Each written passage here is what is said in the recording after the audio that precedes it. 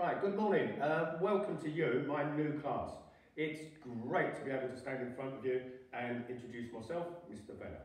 Um, normally, we would meet in my room and we would go to assembly, we'd come, come across and move into our room and there we get to know each other.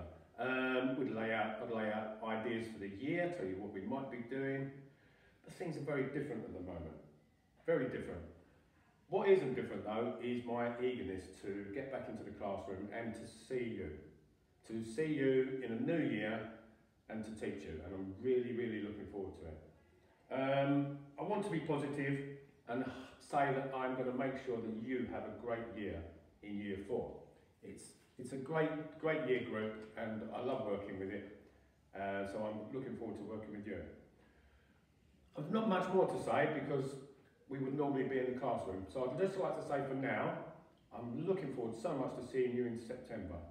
Have a great summer, come back refreshed and ready to learn in September, and I'll see you then.